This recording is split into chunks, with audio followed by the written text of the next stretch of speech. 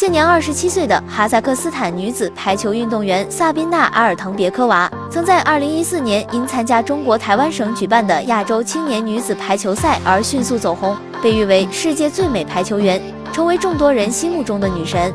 走红后，她于二零一五年加入了日本企业旗下的 GSS 阳光队，正式进军日本排坛。此后，她频繁出现在电视节目中，并拍摄了写真和广告。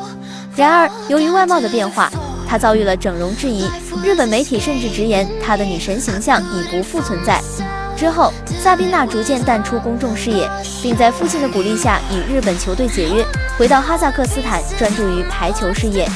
二零二零年。萨宾娜突然在个人社交平台上分享了与丈夫的合照，宣布与哈萨克斯坦一位电商巨头结婚，随后生下一个女儿，一家三口过着幸福美满的生活。